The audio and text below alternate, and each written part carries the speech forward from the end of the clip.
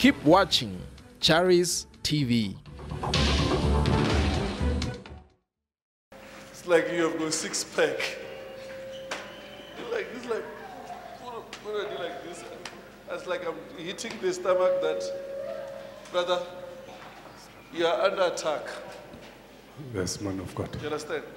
You're under attack. Satan doesn't want you to preach. Remember your people.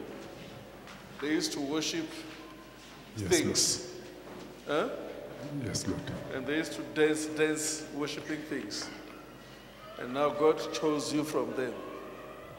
Yes, sir. And those things now are attacking you with your wife.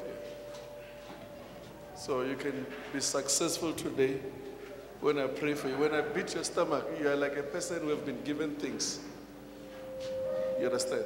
Yes, man of course. It's like I'm beating a rock. You know rock? So God wants to set you free today. So that the ministry will grow.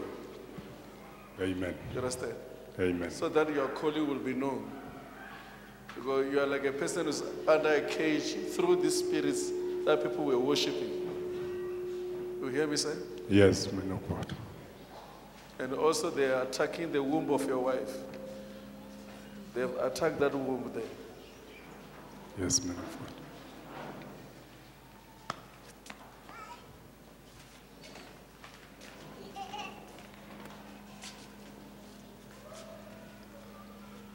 Because if I don't prove that to you by praying for you, you won't believe.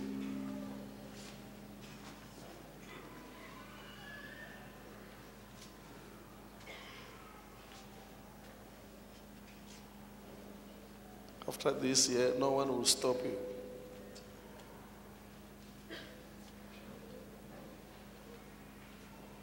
Look at the wife now. Look at the wife now. Put your mic in your mouth. Hmm.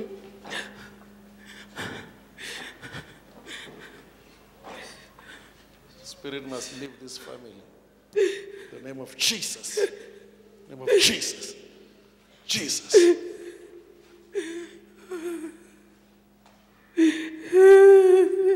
Spirit of the family. Out! Out! In the name of Jesus Christ. Out in the name of Jesus. You leave this family.